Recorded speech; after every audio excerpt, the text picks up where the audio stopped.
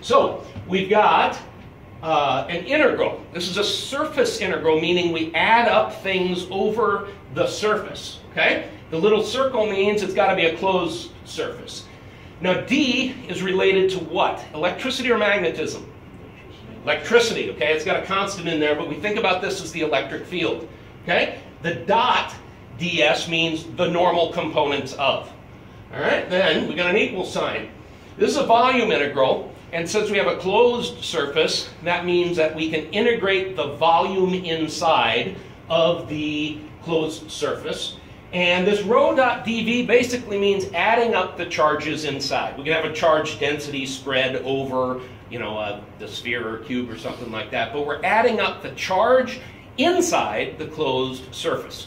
Now the closed surface can be any shape, but um, we're going to start with a uh, start with a sphere. Okay, so um, keep that in mind as we look at the picture of what's going on. Lights. Okay, so um, what we have here are two point charges. Yes, a point charge can't exist, but this is what we're, you know, it has to be a solid volume. But if you think of this as a point charge, you've got a negative 5 point charge and a positive 5 point charge.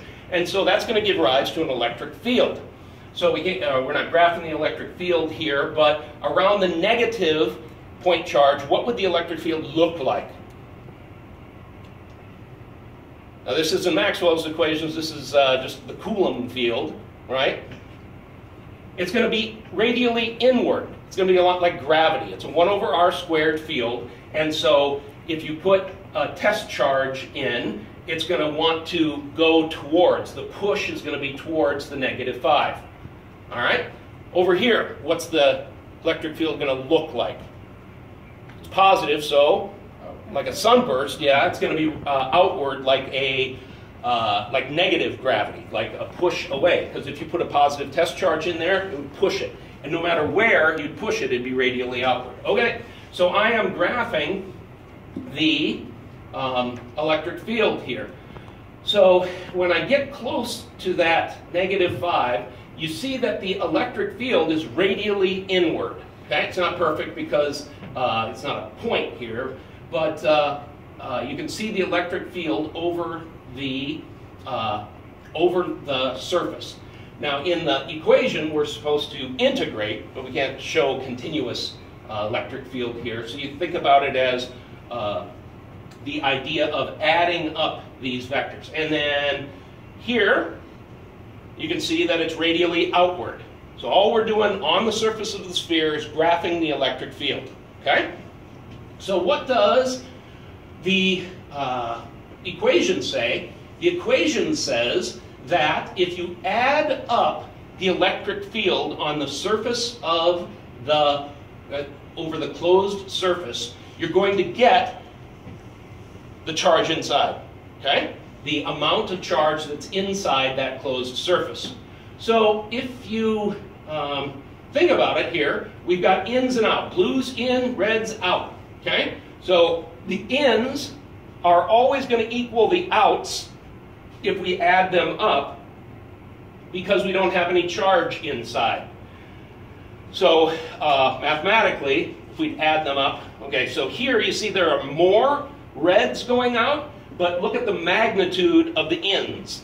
The ones going in have a greater magnitude. So if we add all those up, uh, then we would get zero. Why? Because we integrate the charge inside, there's no charge inside.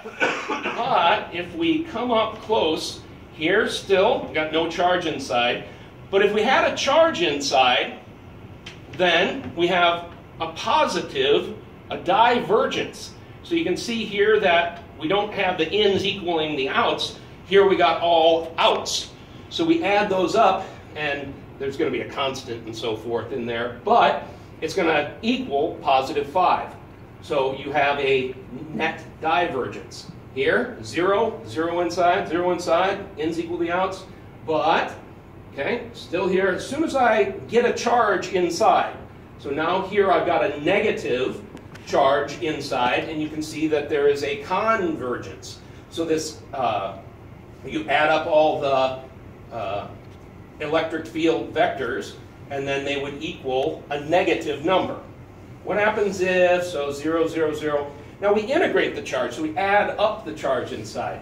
If I put both of them in, hard to tell, but you can see we've got ins and outs. And were we to add everything up, and adding things up smells a lot like an integral, uh, but we're adding them up, and you can see that the ins would balance the outs in this case. Here, divergence, here, convergence, and here, well, if we uh, sum the charges inside, that's the volume integral, then uh, we get a zero sum of charges, and then the ins are going to equal the outs.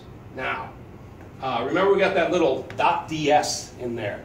I'm just showing you the electric field, the unadulterated electric field, but this is the tangential components. These are the norm, I'm sorry, not tangential, the normal components. So the dot ds says, no, no, no, no, not the electric field, but the normal components of the electric field. Okay? So here, this is truly what we add up to get zero. We got zero, we're going to get zero here. I got the stray zero charge here, but I can put the zero charge in here.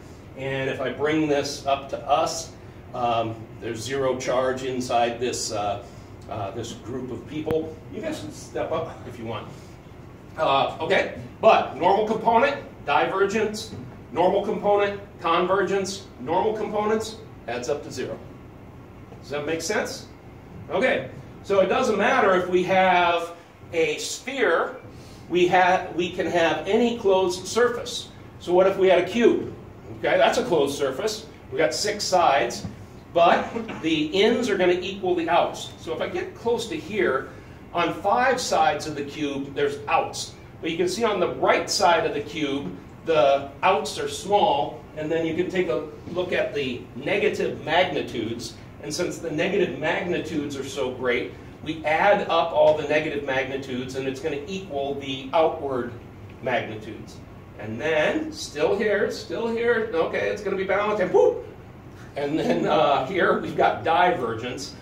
And let's see, okay, so we're in inside the sphere, sorry, inside the, the charge and we're going to get divergence. Okay? Um, here we're getting a couple of negatives in, but you can see the magnitude on the right of the positives would balance the few negatives that we have, and the negatives have a small magnitude. Uh, okay, and then ins and outs equal, equal, equal, equal, sum to zero, sum to zero. Do you want me to make the noise again? Woo! And so here we get uh, a convergence, okay? So it's the normal components, and, oh, and then we put both of them in, and were you to add them up, it would equal zero. They're balanced. The flux is balanced in this case. So it doesn't matter what shape we use, okay? Uh, it could be a potato shape if we wanted to. Uh, the engineering tater, is that what it is? Okay. And then it's not the electric field, it's the normal components. Okay? Doesn't matter if it's a, it, it can be any closed surface, uh, any shape, but if we add up the normal components, and we're just graphing the electric field's negative components, they're going to balance if there's no charge inside. If there is a positive charge inside, uh, then it's going to be divergence. If there's a negative inside, it's going to be convergence. And if there is a net zero charge inside, they're going to be balanced. Make sense? Okay, so any questions on this? You can stop.